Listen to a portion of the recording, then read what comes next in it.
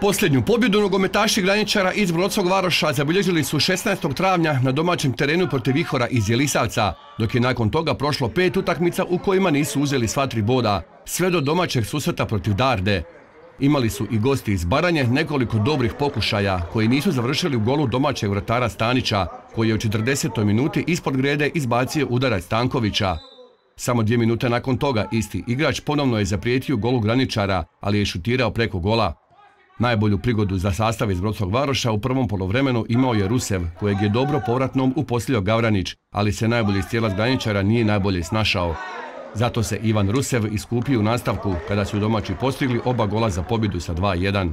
Sad igramo skroz rasterećeno, pa tako da to ide i lakše, znači nemamo nikakav imperativ, više ništa ne moramo.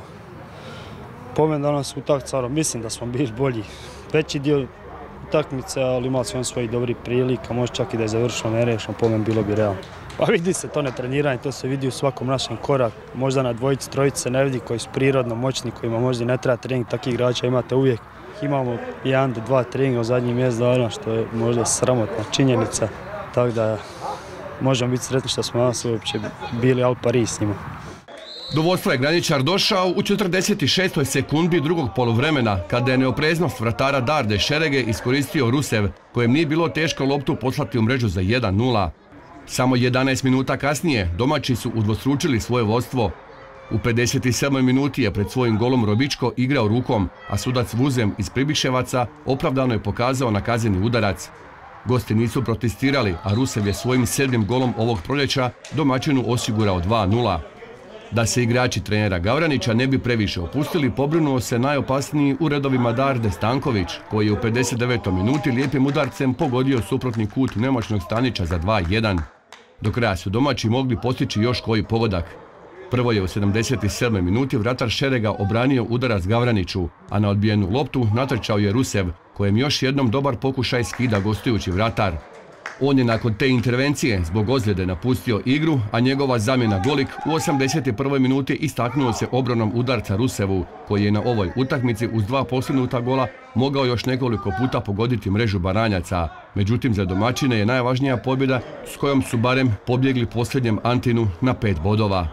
Moramo kod kuće bar to pobjedka, ne možemo gostima izdržati ovo do kraja i dati sve od sebe kad već ne treniramo i to da bar ovako pokažemo kroz igru i to.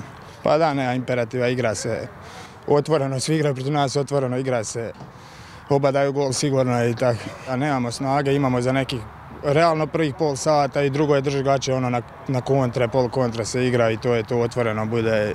Evo uspjeli smo danas izdržati da ne primimo i drugi i pobjedili. Da. Pa mi smo odigrali dobro jedno prvo polijeme da je bilo odlično.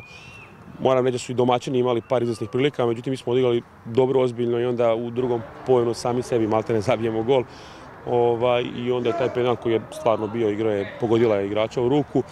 Međutim, poslije smo preuzeli inicijativu i, odradili jednu dobru utakmicu, nažalost nije nas nagradilo, ali mislim da smo zadovoljni ovaj, sa, sa utakmicom. Imamo dosta naših mladih igrača, probavali smo danas nešto novih igrača, mlađih iz juniora. Ima tu sad, ne znam, četiri, četiri naše vlastite igrače iz juniorskog pogona koje smo povukli i, i pokazalo se pun pogodak. Tako su nogometaši Graničara zabilježili sedmu pobjedu u ovoj sezoni s kojom su dva kola prije kraja ostali na preposljednjem mjestu te je želja do kraja tu i ostati, budući šokadiju iz Babine Grede teoretski ne mogu više stići.